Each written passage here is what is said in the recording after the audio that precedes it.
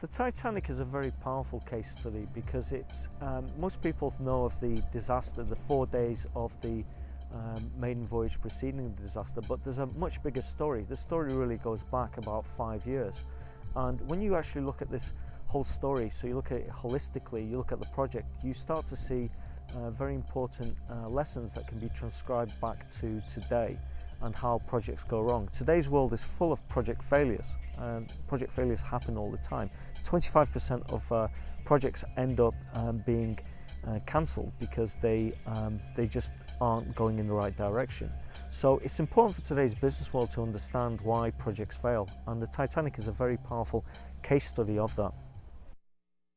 The roots of the, the failure really started with the um, start of the project itself in terms of the, um, the design and as the project proceeded there was a whole series of mistakes that were made.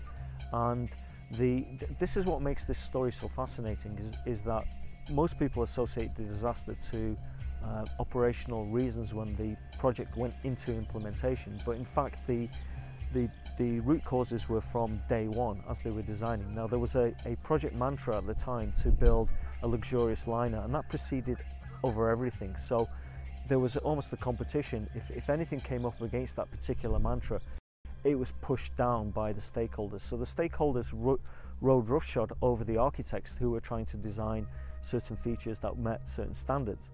And as the project proceeded, the, um, it, there was basically two ships. There was the Olympic that was built in parallel.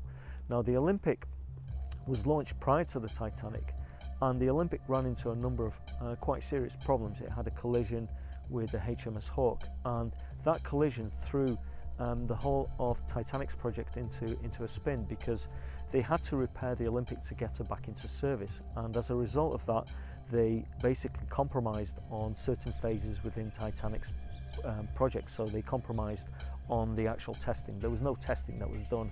There was no sea trials that effectively took, took place.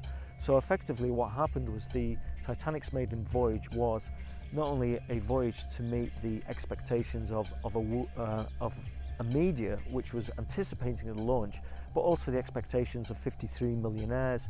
Um, and it was also a the maiden voyage where they hadn't properly tested the ship, so they ended up doing a lot of the testing in the early days of the maiden voyage. So all these things combined together led to uh, the, the, disaster.